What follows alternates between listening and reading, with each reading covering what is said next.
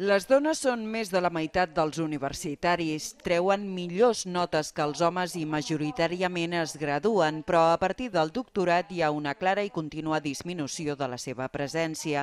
Així, només el 20% de les càtedres estan ocupades per dones. És el que s'anomena segregació vertical, que vol dir que a mesura que s'escalen posicions de poder, els homes ocupen tot el protagonisme. La segregació també pot ser horitzontal. Ha estudis feminitzats feminitzats i altres masculinitzats. Les dones representen el 25% dels estudiants d'enginyeria i arquitectura i només el 10% dels estudiants d'enginyeria TIC.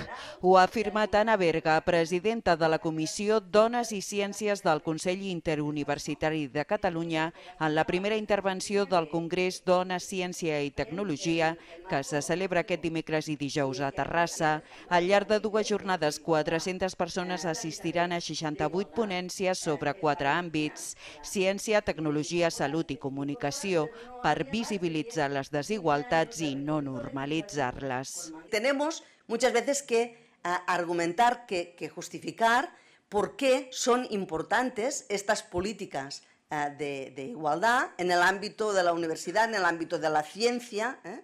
y creemos que tener indicadores que muestren ¿eh? la, la situación és un primer pas indispensable. El Congrés està organitzat conjuntament per l'Ajuntament, la Universitat Politècnica i l'Escola Universitària d'Infermeria de Terrassa amb la col·laboració de la Societat Catalana de Tecnologies.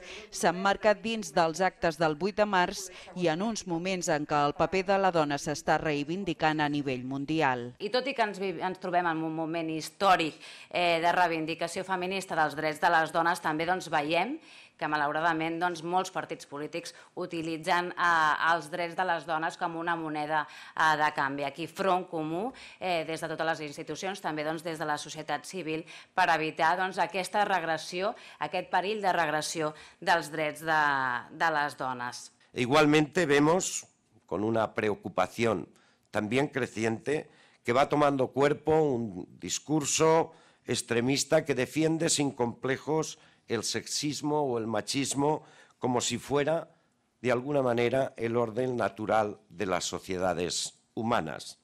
Aquí, en Tarrasa, en este Congreso, decimos sí a la igualdad y no a la discriminación de la mujer.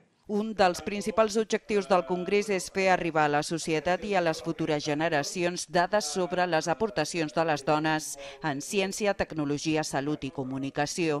També vol ser una plataforma de reflexió i de sensibilització i pretén fer propostes per al futur més immediat.